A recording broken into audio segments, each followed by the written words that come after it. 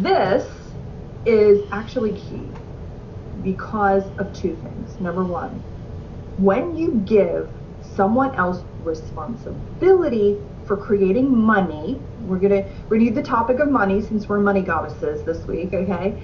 Um, but it could be love. So any, you know, if you're looking for a relationship or new job or career, whatever, I mean, you can turn the turn the title on it, but we're going to use money throughout here.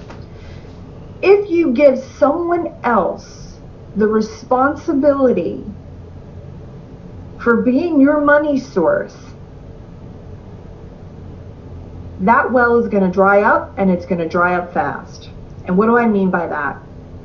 If you give your parents the responsibility for being your money source, if you give your clients the responsibility for being your money source, your spouse, your partner, your business associate, um, the world, clients, customers, okay? If you give them the responsibility to be your source of money, okay, and I'll, I'll clarify that a little bit more, that well is going to dry up. It is not their job to provide you with money, right? Money comes as a secondary benefit to your alignment.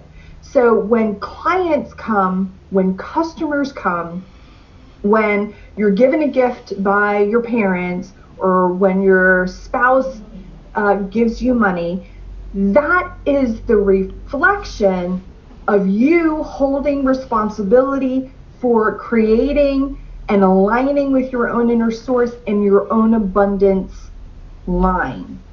Okay, do you follow?